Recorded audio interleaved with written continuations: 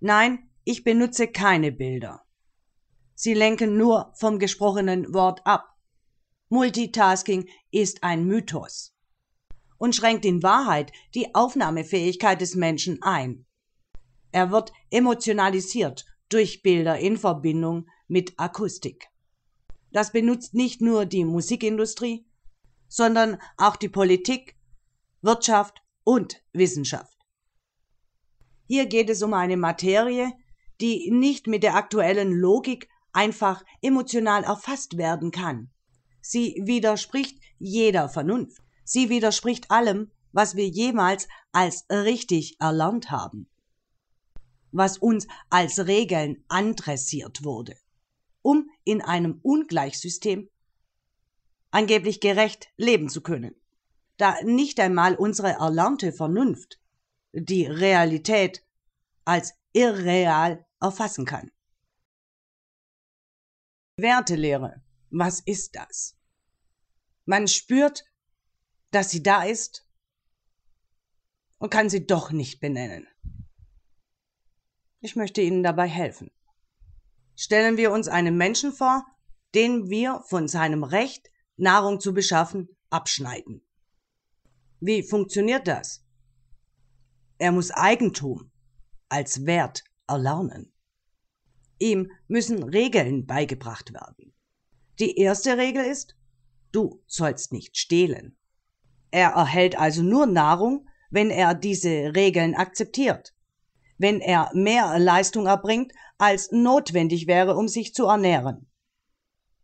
Das ist Wertschöpfung. Nur dann gibt es Futter. Der kleine Mensch, der Nicht-Eigentümer, der habe nichts, muss also Leistungsverschwendung betreiben. Folglich wird der erste Diebstahl, also die erste Eigentumsbeanspruchung an der Erde, absolut ignoriert. Es wird nicht als Diebstahl empfunden, sondern als natürliches Recht. Das ist der Erfolg der Dressur in unserer Wertelehre. So kam die Grundregel in die Welt, der Acker ist der Wert, auch wenn er nicht bestellt ist. Die Leistung selber wird daher umdefiniert in wertlos. Der Dualismus begann. Der Mensch teilte sich auf.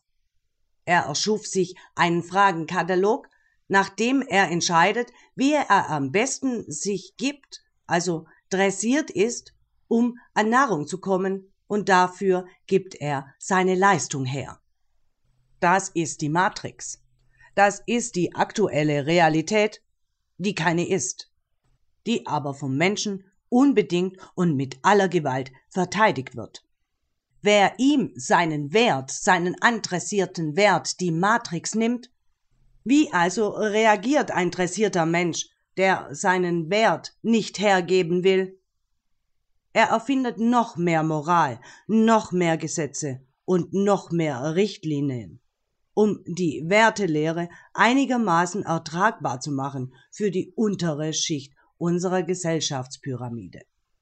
Das ist die Gerechtigkeit in einem Ungleich- und Unrechtssystem. Der dressierte Mensch erfindet also eine andere Art von Belohnungssystem. Also er will anders Wert schöpfen. Er stellt die Wertschöpfung selber nie in Frage.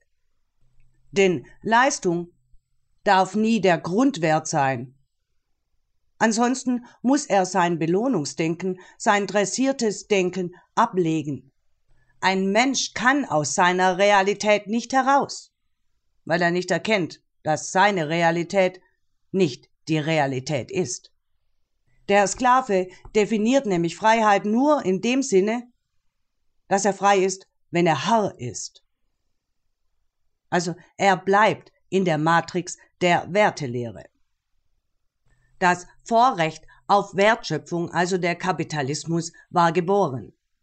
Wer also den Wert, das Eigentum weiterhin anerkennt und nur das Eigentum vergemeinschaftet, gibt die Wertelehre nicht auf.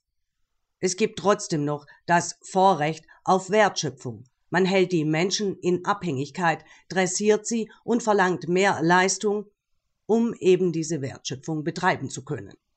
Das Paradox. Der Dualismus beherrscht uns also weiterhin.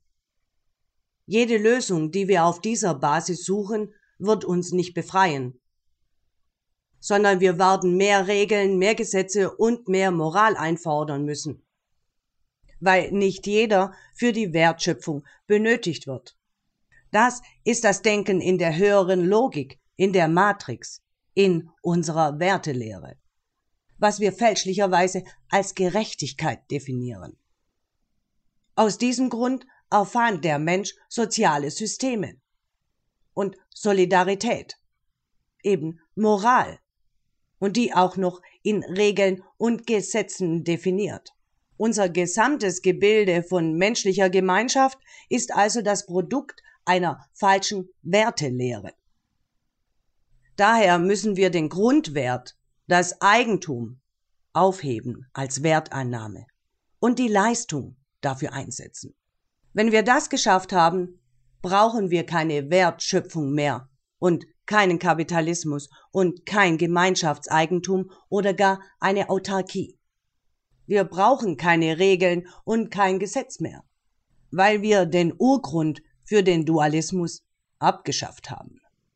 Wer also der höheren Logik der aktuellen Wertelehre folgt, ist lediglich ein dressierter Mensch, der nicht fähig ist, freie Entscheidungen zu treffen sondern in Abhängigkeitsverhältnissen denkt und sich danach ausrichtet. Diese falsche Annahme von Wert macht aus Politikern wie aus deren Kritikern Ökonomen. Sie denken ausschließlich und nur wirtschaftlich. Folglich eint sie ein gemeinsames Ziel. Das Aufrechterhalten der aktuellen Wertelehre das Aufrechterhalten des momentan akzeptierten jetzigen Grundwertes. So ist der Weg das Ziel. Das beschreibt auch Konfuzius. Denn viele beschreiten verschiedene Wege, aber das Ziel ist das gleiche. Somit gibt es nur einen Wettstreit darüber, wie wir den Weg zum Ziel, also zur Aufrechterhaltung der Wertelehre beschreiten. Das ist momentan die Infokrieger- und Wahrheitsbewegung. Für diese Aussage werden Sie mich hassen. Aber warum soll ich die Wahrheit verschweigen?